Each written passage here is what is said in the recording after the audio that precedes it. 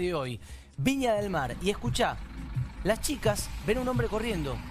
¿Qué pasó? Le dicen. Bueno. Le robaron la eh, computadora. Mira, Ahí está, así empieza. Así arranca.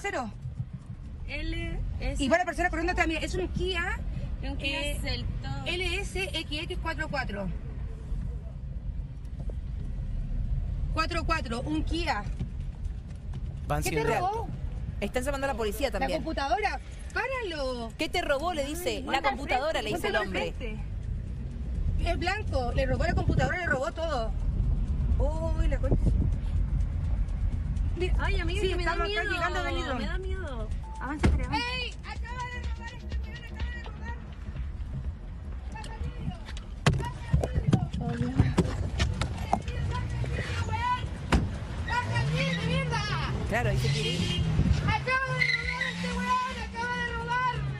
¡Acaba de robar! Ahí demuestra que algo tiene que esconder, ¿no? Porque Obvio. se escapa y se queda trabado en ese pequeño bulevar.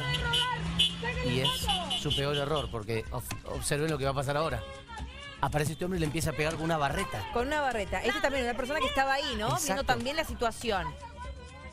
Ahí se baja esta persona del auto, la increpa diciéndole. ¡Mierda, Paco, por acá! Escuché el diálogo. ¡Pasa el computador, mierda! ¡Te di cuenta, mierda, weón! ¡Estás grabada! ¿A dónde está?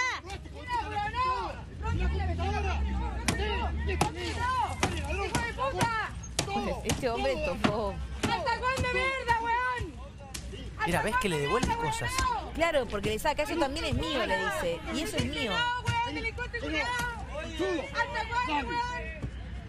Bueno, ahí ven ustedes también la impotencia de estas chilenas, estas chicas chilenas, mujeres que iban en el auto de, atrás, que lo ven al, al hombre correteando este, este auto Kia y le preguntan, ¿qué te pasó? Me acaban de robar todo. Sí. Entonces estas mujeres comprometidas, porque podría otra persona haber dicho, bueno, qué Se van. es problema de este hombre. Estacionaron, No, se bajaron, lo se filmaron. bajaron, lo filmaron, lo increparon, ¿no? Exactamente. Basta de esto, decía. No más la- la- el ladrón devolvió las cosas. Bueno, todo esto que sucedió y le ayudan con este hombre que no sé de dónde apareció con esta barreta. Es- Ese era un transeúnte, de hecho llega antes que el argentino robado o Sí. presuntamente robado y bueno, como veíamos le pega y le destruye eh, uno de los cristales de atrás.